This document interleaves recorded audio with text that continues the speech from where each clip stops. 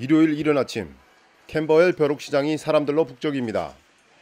해외 소외계층의 어린이들을 돕고 있는 한인단체 하임 회원들이 물건을 파느라 바쁘게 움직입니다. 탄자니아에 저희가 우물 파는 일을 한번 지원을 했었는데요. 그 우물이 터지는 그 영상을 저희가 나중에 받아봤거든요. 탄자니아 사람들이 어, 너무 환호하고 가발에서 한복까지 바자회에 나온 상품도 다양합니다. 모두 하임 회원들과 멜버른에 거주하는 우리 동포들이 기증한 겁니다. 소외 이웃을 돕는 뜻깊은 장터에 손님들의 발길이 이어집니다. Well, I think it's a very good thing, and uh, I hope you do very well indeed out of it. Um, certainly, if there's anything of interest on your stall, I'll buy it. 하임의 바자회에 동참하는 우리 동포들도 늘어나고 있습니다. 루다는 일요일 아침 잠을 반납하고 엄마와 함께 자원봉사자로 참여했습니다.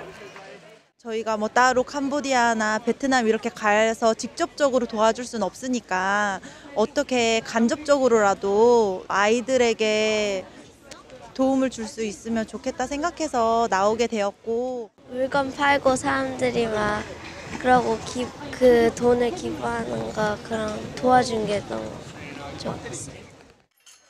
2012년 가치 있는 일을 함께 해보자고 모인 8명의 뜻이 모여 하임이 만들어졌는데요. 아프리카와 동남아 국가의 저소득층을 돕는 일을 7년째 이어오고 있습니다. 이른 새벽부터 좋은 물건을 구매하려는 사람들이 손길이 분주한데요. 오늘 판매된 모든 수익은 캄보디아 저소득층을 돕는 데 사용될 예정입니다. 지난 7년 동안 하임이 기부한 금액은 7만 호주 달러에 달합니다. 저소득층 아이들에게 의약품과 미술용품을 전달하고 아프리카에 의무를 파는 일에 사용됐습니다. 하지만 매달 회원들이 각자 상황에 따라 내는 25달러에서 100달러의 회비로만은 턱없이 부족하자 일일 기금 모금 행사를 열고 있습니다. 조금 더 활동을 해서 저희 펀드레이징 하는 액수도 좀 늘리고요. 그렇게 돼서 조금 더 이제 여러 군데 소외되고 가난한 그런 사람들을 도와주는 게 저희 목표입니다. 올해로 8년째를 맞는 하임, 소외계층을 돕는 이웃사랑에 함께하는 교민들이 늘어나면서 이들의 꿈과 희망도 커지고 있습니다.